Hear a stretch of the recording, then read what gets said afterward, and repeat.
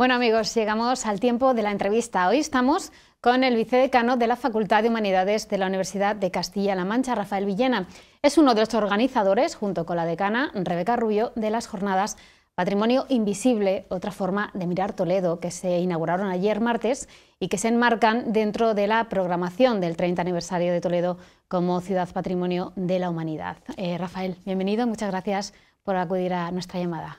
Buenas noches, muchas gracias a vosotros por invitarnos. Este seminario, que bueno, normalmente hacéis unos seminarios todos los años, lleváis ya muchos años haciéndolo, pero este año, por ser el 30 aniversario de Toledo Ciudad Patrimonio, habéis elegido un tema muy, muy llamativo, que es el Toledo, el patrimonio invisible. ¿Cuál es el, el patrimonio invisible de esta ciudad? Bueno, nuestra idea efectivamente había que dedicarle un espacio especial al patrimonio en estas ediciones de los seminarios. La facultad organiza seminarios de primavera y seminarios de otoño, todos los cursos, ¿no? Pensados para los alumnos y pensados para todos los ciudadanos que se quieran acercar a la facultad y que quieran compartir con nosotros estas, eh, estas enseñanzas. ¿no?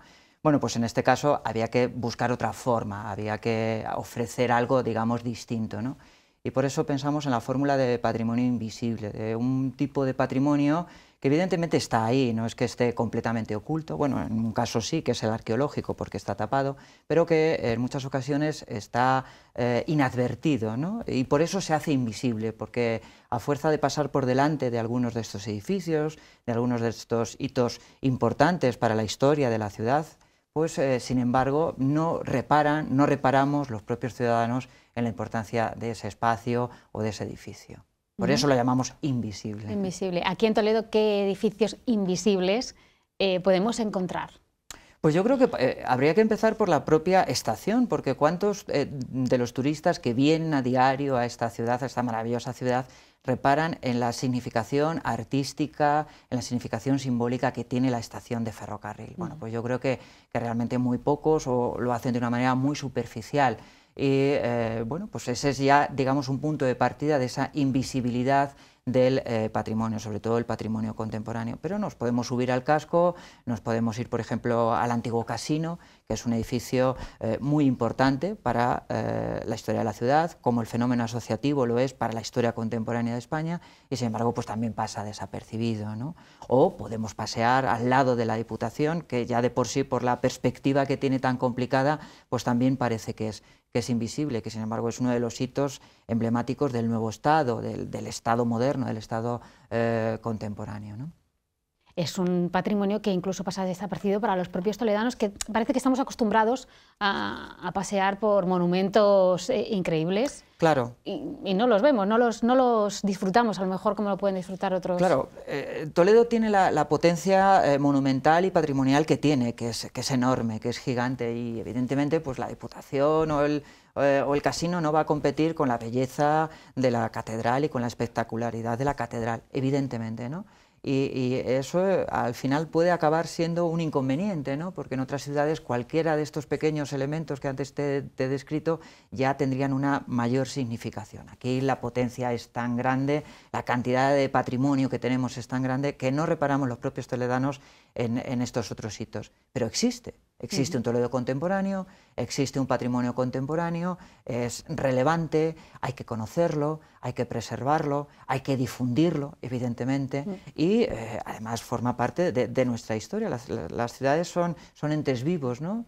Y bueno, eso forma parte, son aportaciones del siglo XIX, del siglo XX, y forma parte de la propia historia de la ciudad, como en su momento lo fue la mezquita, como en su momento lo fue la sinagoga, la catedral, etcétera. Bueno, volviendo al, seminario, eh, comenzó ayer con una jornada por parte de la profesora María José Llop sobre las órdenes militares, huella material, percepción social. ¿Cuáles son esas huellas militares que a lo mejor también nos pasan? Pues, pues eh, la profesora Lobotín, eh, que es medievalista, abordó un aspecto muy interesante porque muy poca gente también en Toledo sabe que algunos de los edificios más significativos, como por ejemplo la mezquita del Cristo de la Luz, fue de la orden, de una orden militar. ¿no? Las órdenes militares tuvieron presencia eh, en la ciudad, pero tuvieron presencia además eh, muy eh, relevante, con mucha trascendencia, puesto que ocuparon algunos de los edificios más emblemáticos de hoy día, ¿no? como puede ser por ejemplo este, o algunos edificios desaparecidos como el Hospital de Santiago. ¿no?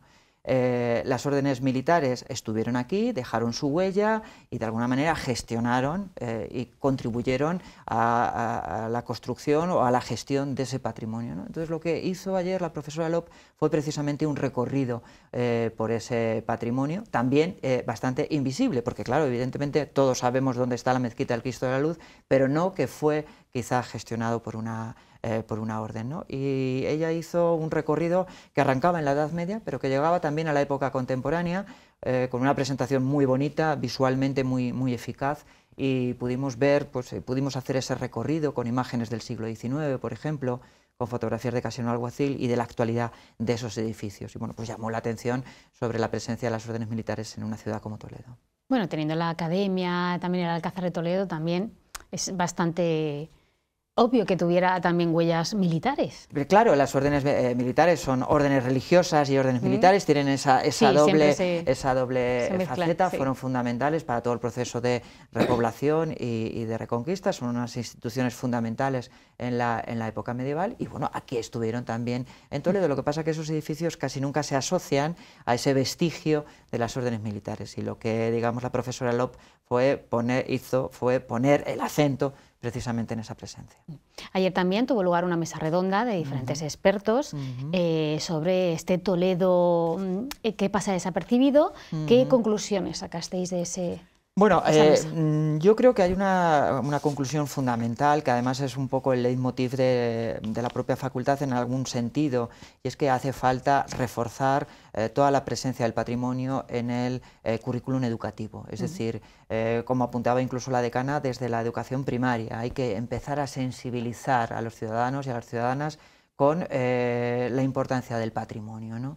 Y indudablemente, aunque hagamos jornadas, aunque hagamos campañas institucionales, eh, aunque tengamos la presencia de los turistas que nos recuerdan ese patrimonio, yo creo que hay que empezar, creemos que hay que empezar por la escuela, por los institutos, y ese fue quizá uno de los aspectos más mm, destacables de las intervenciones que tuvieron lugar. Eh, estuvieron varios eh, gestores y arqueólogos, ese patrimonio arqueológico muchas veces se descubre se investiga y se vuelve a cubrir, por lo tanto sigue siendo invisible y hay que difundirlo, indudablemente, porque forma parte de nuestra cultura, forma parte de nuestra identidad. Y eh, eso yo creo que hay que hacerlo a través de la educación, yo creo que es una de las ideas clave que se subrayaron eh, ayer en esa mesa redonda. Luego otra jornada muy interesante ha sido la que ha tenido lugar hoy en la fábrica de armas de Toledo. También es un patrimonio industrial muy desconocido en la ciudad. Muy desconocido. Hace unas semanas eh, se defendió en la facultad una tesis doctoral de Rafael Elvira, que es uno de los ponentes eh, que ha participado hoy en esta, eh, en esta jornada, precisamente estudiando el, la arquitectura industrial, el patrimonio industrial de la ciudad de Toledo. Bueno, la fábrica de armas es una joya, es una joya dentro de esta enorme joya que es Toledo, ¿no? Y es una joya, sin embargo, que tenemos también muy arrinconadita, ¿no? Eh, forma parte de la historia de la arquitectura industrial, eh, tiene una cantidad de edificios, eh, cada uno de ellos con tipologías diferentes, respondiendo a una evolución también cronológica diferente, desde el edificio Sabatini hasta intervenciones ya bien entrado el siglo XX y por lo tanto forma parte de nuestro patrimonio, forma parte de, la, de ese Toledo que alcanzó ser patrimonio mundial hace 30 años, como estamos recordando eh, en estos meses. ¿no? Y, eh, sin embargo, yo creo que los toledanos vivimos un poco de espaldas ¿no? a ese, bueno, está ahí, eh, quizá antes tenía una mayor integración porque seguía viva como, como fábrica, ya había mucha gente que trabajaba ahí, y ahora no hay quizá esa integración. Y, sin embargo, es un elemento patrimonial vivo, gracias a la universidad, eh, ese patrimonio eh, se pudo eh, recuperar y se le ha dado un uso, un uso docente. Yo creo que hoy, es, hoy en día es uno de los campus, al menos que yo conozco en España y fuera de España, más espectaculares, sin lugar a dudas. Y bueno, pues queríamos también incorporarlo a mm. este, a este seminario eh, para subrayar ese patrimonio, entre comillas, invisible. Eh, no es invisible, está ahí, pero... no se repara, es inadvertido, no se repara en la importancia. Y ahora es como es la universidad, pero no, no, Bien, es la universidad y, bueno, pues como si fueran edificios. No, no, es la, es la universidad, pero es patrimonio, es patrimonio de todos y ahí está. De hecho, también ha habido una ruta guiada por... Eh, sí, sí, sí, efectivamente. Eh, claro, ha habido primero una explicación, digamos, teórica eh, para explicar a los participantes en el seminario qué es, cómo se configura la fábrica de armas y luego ha habido una ruta por dentro de la fábrica de armas, que es como una pequeña ciudad, ¿no? Y entonces nos han ido explicando y hemos ido visualizando cada uno de los espacios, que es muy importante. También hay zonas que están un poco abandonadas también en la fábrica de armas que no se han puesto Sí, porque todavía es muy grande y todavía la universidad no ha podido afrontar, digamos, el, elevado coste de poner en, de rehabilitar, de intervenir en cada uno de los edificios y todavía queda algún edificio sin esa, eh, digamos, eh, intervención, pero se acometerá, eh, estoy seguro. No es, responsabilidad no, es responsabilidad mía, es responsabilidad de otras instancias académicas y de gestión, pero, pero bueno, la, universidad ha hecho un esfuerzo muy importante y, lo va a seguir haciendo, sin lugar a dudas. Luego ya las jornadas finalizan mañana, que mañana tenéis una ruta también muy interesante. Sí, eso espero. bueno, como ves el seminario sale un poco del aula y lo que hacemos durante este seminario es que utilizamos Toledo como aula. ¿no? es lo suyo, ¿no? no claro, es que es una ventaja enorme ¿no? para una carrera como Humanidades y Patrimonio. Mm, es un privilegio poder tener esta carrera, este grado en Toledo y poder utilizar eh, eh, toda la ciudad como un aula. ¿no? Entonces, eh, lo que vamos a hacer mañana es que vamos a hacer una pequeña ruta por el Toledo contemporáneo, que también existe. Toledo es medieval, evidentemente. Eh, Toledo tiene una huella árabe muy importante, una huella judía muy importante, qué duda cabe, pero también hay una huella del siglo XIX y de buena parte del siglo XX. Entonces, lo que queremos es eh, recorrer con los alumnos matriculados en el seminario pues algunos de los hitos que componen ese Toledo. Eh, contemporáneo, explicarlo en su contexto, por qué esos edificios, por qué, cuándo se instalan, cuándo se construyen, qué significación tienen en su momento y cómo han llegado, cómo han sido legado, eh, legados por, de generación en generación hasta nuestros días y cómo se están gestionando. ¿no? Y, bueno, esa es la idea, ¿no? Eh, salimos del aula. En el aula en realidad estuvimos muy poco tiempo el primer día y el resto ha sido más un, seminario muy, muy práctico, muy visual. Eh, hemos hablado antes de la mesa redonda en la que se trató pues, otro Toledo. En esa mesa estuvo el gerente del consorcio de la ciudad de Toledo, Manuel Santolaya. Eh, ¿Le habéis trasladado a lo mejor e incluir estas rutas en la fábrica de armas o el Toledo más invisible o contemporáneo a esas rutas de patrimonio desconocido? Sí, sí, lo hemos hablado, esto lo, hablamos con frecuencia, ¿no? estas ideas y, y, bueno, claro que sería, sería muy interesante y muy enriquecedor. Lo que pasa es que, claro, chocamos con el problema que, te comentaba, ¿no? Y que comentaba con todos los televidentes antes, pues que eh, la potencia patrimonial de Toledo es tanta que, claro, tienen que elegir, pero a mí me parece que, sería fundamental incorporar a, las rutas, al discurso eh, turístico, al menos algunos de estos edificios, mm. ¿no? El Teatro de Rojas, por ejemplo. ¿Cómo no incorporar eh, ese bomboncito burgués que es el Teatro de Rojas? A, las rutas. Yo creo, no vamos a competir, que está a dos pasos con la catedral, ya de acuerdo, pero yo creo que tiene que mm. irse poco a poco incorporando ese otro, ese otro patrimonio invisible. Y salir también un poco del casco histórico, porque luego tenemos pues eh, el circo romano, que también... El circo romano, el circo romano es una reivindicación clásica de, mi decana, que es experta en eh, arqueología antigua, en arqueología romana, es una reivindicación clásica de mis, de mis colegas. ¿no? Y, eh, y, bueno, por supuesto, el, circo romano es, una, es otra joya, es otra maravilla. ellos dicen que en el mundo... entonces es un poco sorprendente y es un poco frustrante que no esté incorporado verdaderamente a, las rutas. ¿no? Pero es que si salimos, pues bueno, tenemos una eh, escuela de artes eh, al lado de San Juan de los Reyes eh, que es interesantísima, tenemos un antiguo matadero convertido en instituto que tiene también su significación y como te decía antes, tenemos una estación de ferrocarril que es la puerta de entrada a la ciudad para los visitantes. que ya lo fue desde mediados del siglo XIX, la anterior estación y después ya en el XX la actual, y claro que sería, claro que habría que incorporar, ¿por qué no empezar la ruta precisamente, una ruta precisamente en estos edificios? Pues ahí, es, ahí está. Tenemos también la Vega Baja, que eso no sabemos al final lo que, va, lo que va a terminar siendo, pero oye, sería también un, algo para impulsarlo bastante. Es que hay muchas opciones, hay muchas, posibilidades. Es que en Toledo... Toledo da mucho de sí. Y siempre gira en torno a algunos edificios maravillosos, sin lugar a dudas, y mm. que yo no voy a eh, a ensombrecer, no se me va a ocurrir, ¿no? Eh, pero bueno, hay muchos edificios y se pueden hacer muchas combinaciones, evidentemente.